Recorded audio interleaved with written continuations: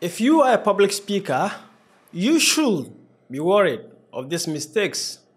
My name is Ibrahim Mustapha, and in today's video, I'm going to share with you seven biggest public speaking mistakes that speakers do. If you are new to this channel, why don't you follow me and let's do more? The number one mistake a lot of speakers do is lack of preparation. They don't prepare before they go on stage. They just want to go up and figure it out. But speaking is not like that. You must prepare, you must plan, you must rehearse, and you must practice your speech. If you are not prepared, you are not ready to speak. So, as a speaker, you need to prepare. Don't go on stage without preparing.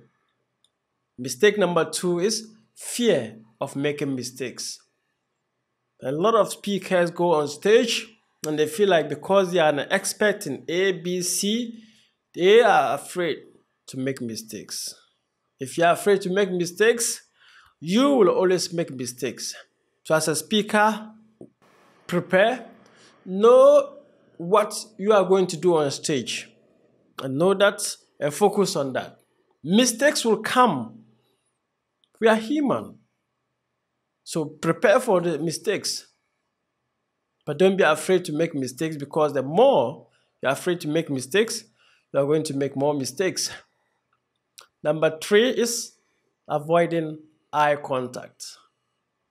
When you're speaking, you must look directly into the eyes of your audience. You must connect with them. It's just like making a phone call. If you don't connect with the other participant, believe you me, you will never speak to them. So, first, you must connect before you deliver. So, as a speaker, it's important to know that eye contact is key. When you're speaking to the camera, you must look directly to the lenses. And once you look directly to the lens of the camera, you are connecting with your audience.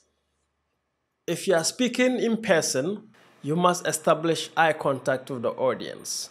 And how do you do that? You do that through your presentation.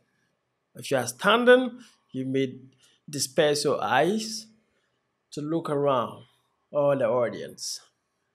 If you are walking around too, just walk a little bit to the middle, little to the left, and to the right, and establish eye contact with your audience. It's very important. Mistake number three, that number four rather, that people, most speakers engage in is mismanaging time. Time is important. And some speakers, when they give them 30 minutes, because they believe they are the experts or they are experienced in the topic, they want to do one hour. Yes, you may do one hour, but you are disrespecting your audience, the organizers, and your colleague speakers. Imagine they tell you that you are going to speak at 9.30 and you go there at 9.30 and there's a colleague speaker who was supposed to stop at exactly 9.30 and the person speaks up to 10 o'clock. You may not feel good. So once they give you the time, also make sure that you maximize the time and stop at exactly the time that you were given. So don't mismanage your time as a speaker because your audience will get bored no matter how interesting you are. Believe you me, they may be clapping, but they are bored because you are wasting their time and everybody's time. Number five is not knowing your audience. Public speaking is an art.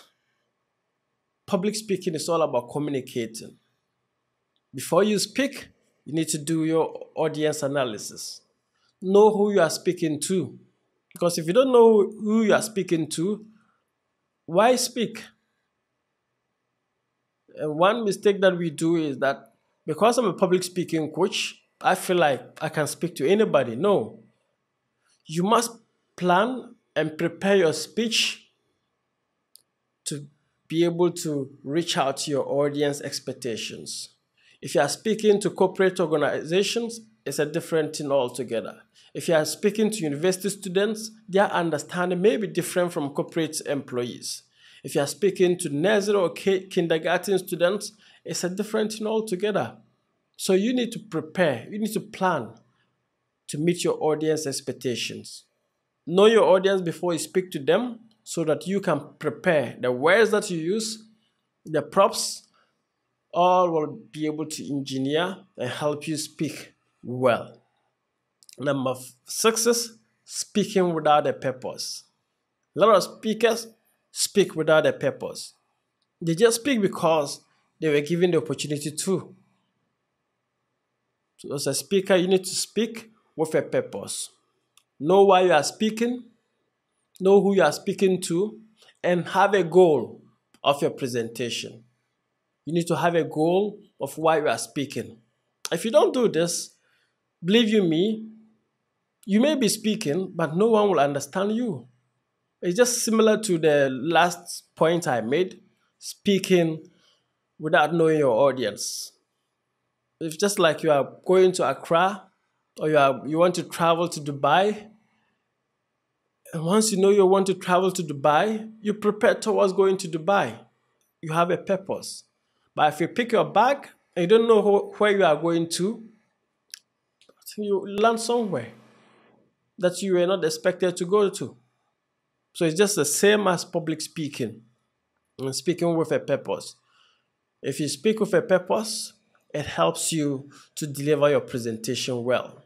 Speaking without a purpose, you are just going to speak, but no one will understand you. The last and final point is speaking too fast. A lot of us, we speak too fast, and sometimes it comes natural. But if you are speaking too fast, your audience may not understand you.